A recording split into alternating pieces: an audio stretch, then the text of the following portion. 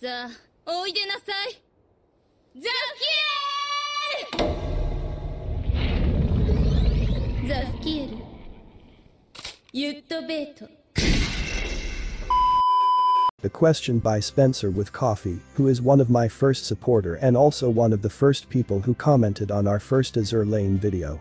Why does Peter Strasser always talks about time? 時間は貴重なものよ。用事は簡潔に述べなさい。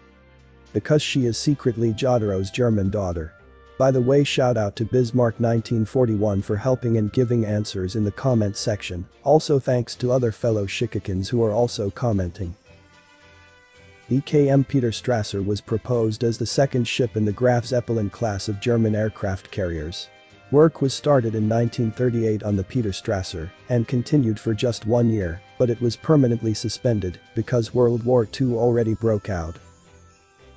It was then, the disputes between the Kriegsmarine and German Air Force developed, but in the end Hitler's decision was to divert the naval funds to the development of U-boats instead. Thus, the development of the aircraft was abandoned. Therefore, her halted construction phase is the inspiration of her character design being related to time. And now that she's manifested as a shipgirl, she's now appreciating every moment and not waste any second of her precious time. かけた時間を無意にしないための儀式。そうね。K にこれほど言われたからには、誓いの印として、もらうとするわ。お互い、時間をかけて、感情をいくらでもぶつけてくつもりだから。